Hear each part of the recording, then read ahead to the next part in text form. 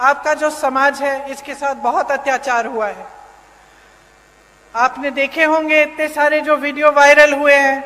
देश में सबसे, प्रदेश में सबसे ज़्यादा बच्चियों को यहीं पे मध्य प्रदेश में, यहीं पे गायब हो रही हैं। सबसे ज़्यादा बच्चियाँ। डेढ़ लाख बच्चियाँ और महिलाएँ गायब हो गई हैं इनके राज्य में।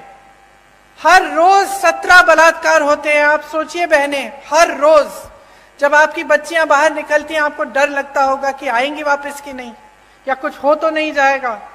ये सरकार चल रही है। उज्जैन की घटना तो आपने देखी ही है। और आदिवासी जनों पर, आप पर जो अत्याचार बरसाए जा रहे हैं, उनका अब कोई मुकाबला नहीं है। पूरे देश में, मध्य प्रदेश उनमें नंबर वन हो गया है।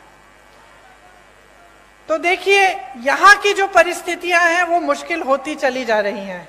आपको रोज़गार नहीं मिल रहा है, आपको वन पर अधिकार नहीं मिल रहे हैं, यहाँ पे अत्याचार बढ़ रहे हैं तो पलायन तो होगा ही ना। ये देखकर इतनी दुख होता, इतना दुख होता है कि ऐसे बड़े बड़े शहीदों की धरती पर यहाँ से लोग छोड़ के जा रहे हैं रोज़गार लेने के लिए, और यहाँ पर रोज़गार आपके लिए पैदा नहीं कर रहे हैं। 18 सालों से भाजपा की सरकार है। रोज़गार के मौके नहीं बने।